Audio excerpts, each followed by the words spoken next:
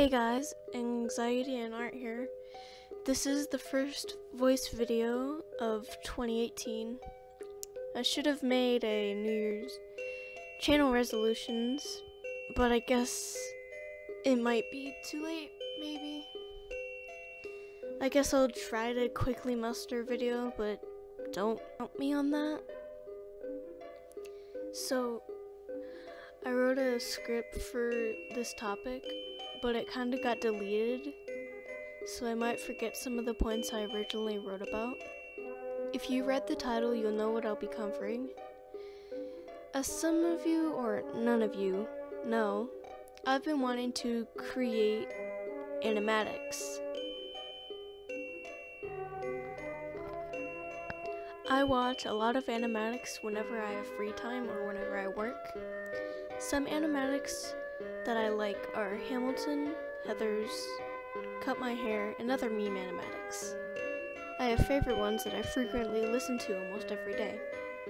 Some of my favorite meme animatics are Momotaro, Smile, Wonderland, I Am the Man, and Cut My Hair. I listen to Momotaro compilations when I work on stories or script. Since I watch them so frequently, I was wanting to make animatics of my own, but there are some things that keep me from doing so. First of all, my art style isn't very suitable for more than animating.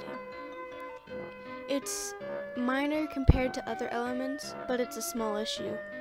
I think the only issue about my art style is inconsistency of character designs, but that's not that bad. Another issue is softwares. The drawing softwares I use is Ibis Paint X on my phone. For single and simple illustrations, it's great, but for animation and different frames, it's a painful process.